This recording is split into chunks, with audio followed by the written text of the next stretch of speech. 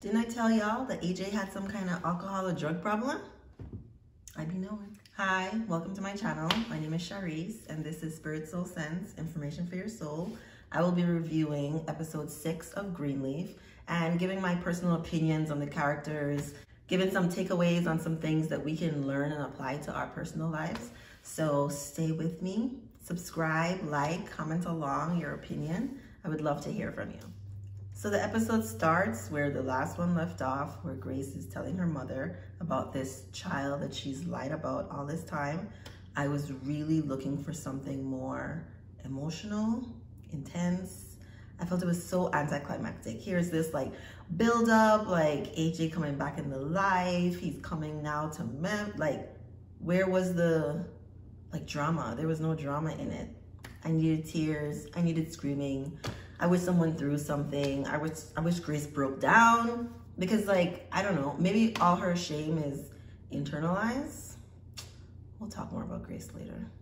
I just didn't like how they did it on the show, sharing that bit of information. I really though enjoyed Bishop's memory of Grace. Like that time when she called and needed something and how he felt the urge to go and get her, save her, protect his baby, but he didn't everyone has their own like life to live and process to go through but i really liked his recounting. I just like bishop in general. I just he's such a manly man and i love a manly man. I like bishop. I have a hard time with charity because what she's doing doesn't make sense to me. Like i feel like her character people pleaser uh, wanting to make her father proud doesn't really fit in with this now, I guess, I mean, they're all like older, right? So she's like late 30s at least. Like now is when you decide that you no longer want to be a people pleaser. You're going to betray your whole family. It just doesn't make sense to me. Maybe it's based on a real person. I just don't know this story in real life. So I really feel like Phil is running game on Charity. Like at this point, I mean, he rewarded her with a kiss and everything. I just, oh my God. She's lying to her brother. The way she came with that information about Grace, came back with the information that she recorded Grace. What? I, like, does she not see how any of this can trickle down to her and hurt her? She's just set on being a pastor in the church. Like being a pastor in the church is more important than your family. That doesn't make sense. That doesn't make any sense to me. But when people are living in fear, when you live in fear, when I am living in fear, we do some things that really don't make sense. And we end up hurting people that we really maybe didn't want to hurt. Or maybe we did want to hurt. Which is also like a painful process, right? To go through life and not accidentally or on purpose hurting other people.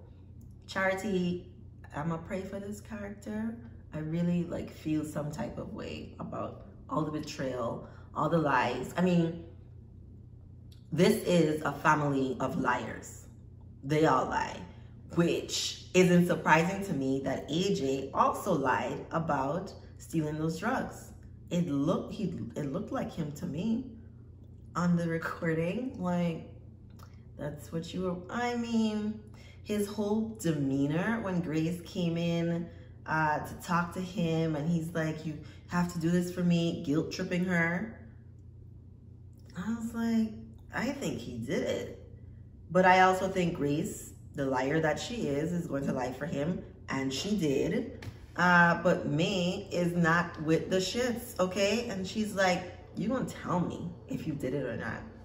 And AJ is like, storying around, avoiding the question, and then ends up running away. Like that's his thing. He's gonna just run away when things get too hard or he's feeling like attacked or vulnerable or empty inside. And so we get confirmation that he really stole those pills. And then you see him running away with the pills. And so you know now he's got a drug problem, which fits. It fits.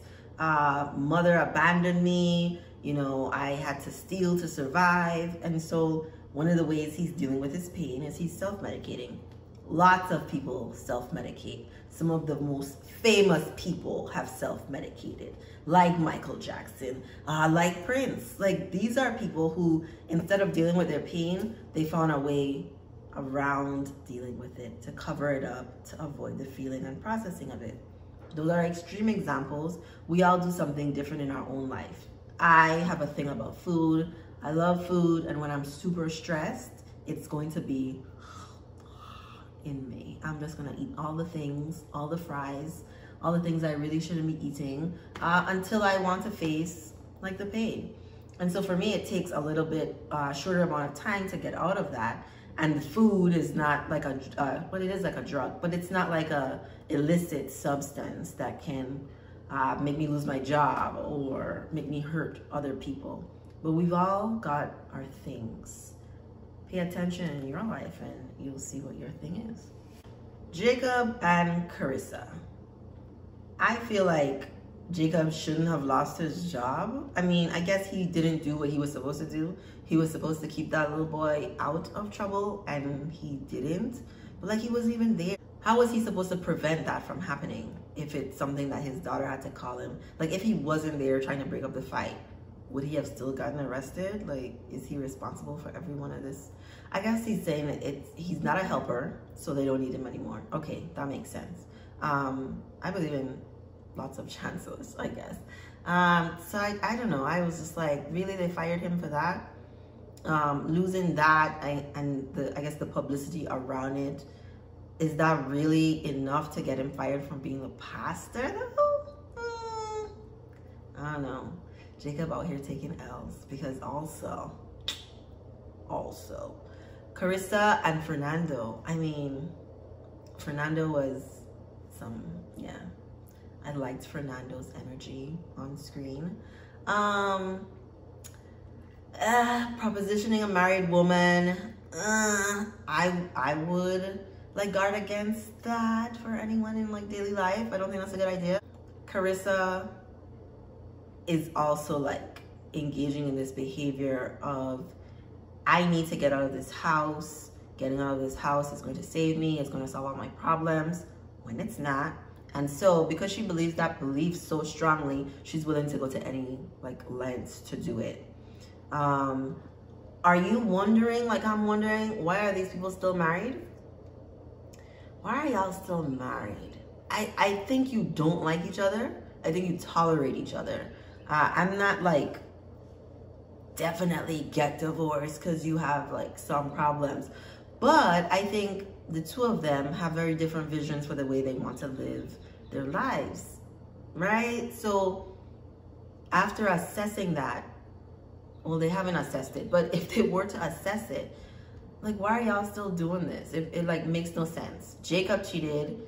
Uh, Kerissa is cheating. Remember when they had like that swingers couple come to them and like proposition them and she was willing to do whatever it took to like get to the next level just like girl ugh girl i mean jacob was also having like fantasies about tasha both of them are coming from a place of fear and lack and really have the whole family but them, I'm talking about lost touch of their relationship with God, spirit, the universe, and so are engaging in like behaviors that compensate for the lack that they're feeling now, right? Jacob lost his jobs. He's like feeling unsupported.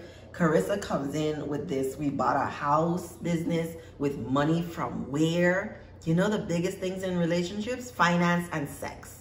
Where are you, like, how do you think this is going to, I just, keeping secrets from your partner. I just, they're so unhealthy.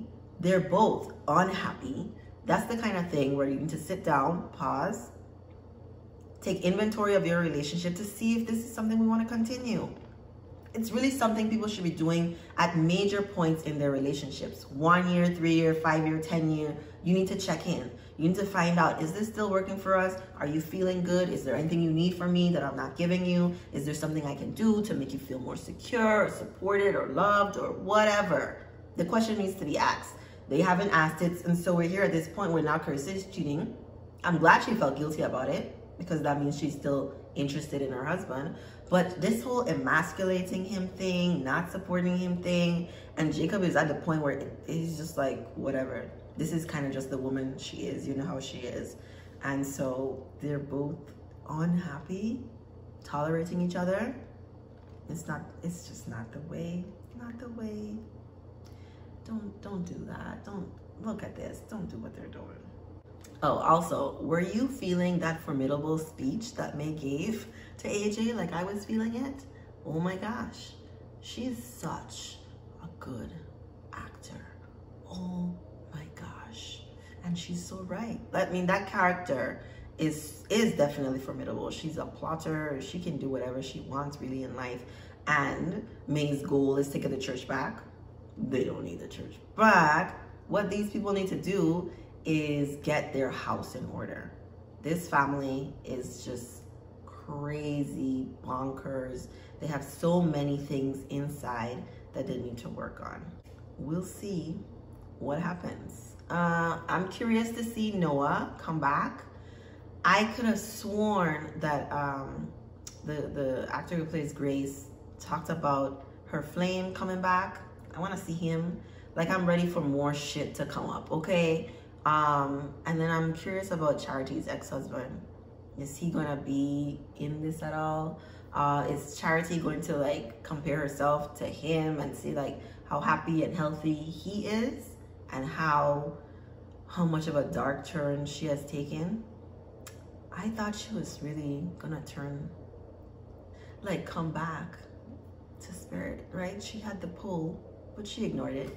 Like a lot of us do in our lives we need a lot of different experiences of the same thing in order to learn the lesson. You could have learned it in the first time, but you weren't paying attention. But I think the hope is that we get better every time. There's a challenge or obstacle or the theme in our life continues, that we gather more information and we become better people. I mean, that's the goal. Tell me what was your most shocking moment this episode or something you'd like to see happen or your reaction to AJ really actually stealing and being addicted. Thank you for watching.